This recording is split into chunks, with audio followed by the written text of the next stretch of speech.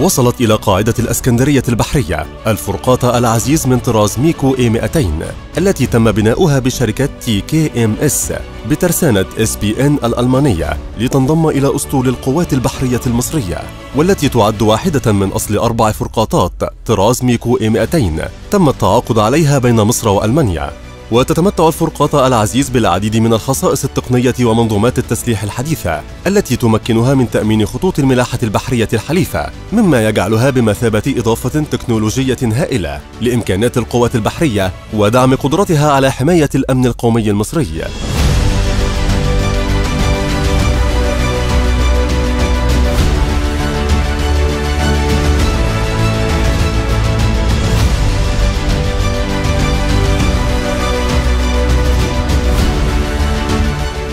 وألقى الفريق أشرف عطوة قائد القوات البحرية كلمة نقل خلالها تحية السيد الرئيس عبد الفتاح السيسي رئيس الجمهورية القائد الأعلى للقوات المسلحة والفريق أول محمد زكي القائد العام للقوات المسلحة وزير الدفاع والإنتاج الحربي لطاقم الفرقاطة على الجهد المبذول أثناء فترة الإعداد حيث تم إعداد وتأهيل الأطقم التخصصية والفنية العاملة على الوحدة الجديدة في توقيت قياسي.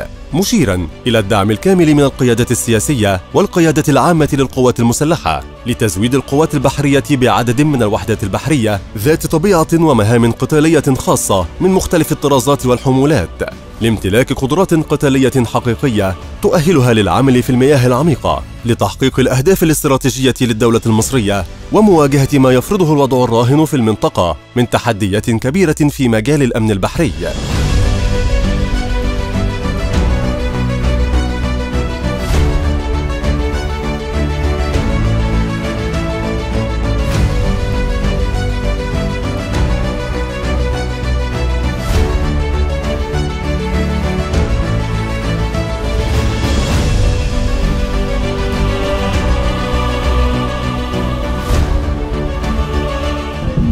القوات البحرية خلال عصر السيسي بقت أقوى قوات دلوقتي ودخلت معدات حديثة كتيرة. يمكن طول السنين اللي فاتت دي ما كانش فيه التقدم اللي في القوات البحرية زي دلوقتي.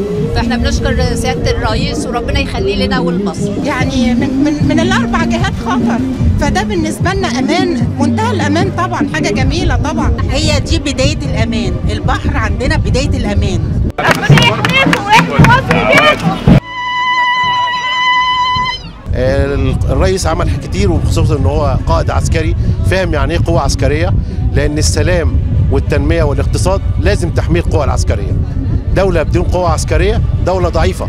وإحنا شفنا العالم كله دلوقتي بيرجع تاني اليد القوية تحمي الاقتصاد. أه والله ده شرف لينا كلنا كمصريين إن إحنا عندنا قوات بحرية بهذا المستوى. في عصر فيه كل الدول العربية محتاجة القوة والمساندة. وإحنا بكرم ربنا علينا الحمد لله شعب واحد ويد واحدة. والنهاردة يكفي إن في هذه الفترة الصعبة في العالم كله عندنا هذه القوات اللي إحنا بنشوفها في البحر. حاجة تفرح فخر لينا ولمصر والعرب كلها هذه القوى المستمدة. ويا ريت كلنا كشعب مصر نحافظ عليها ونكون ايد واحدة. وإحنا طبعا قادرين. تحيا مصر تحيا مصر تحيا مصر.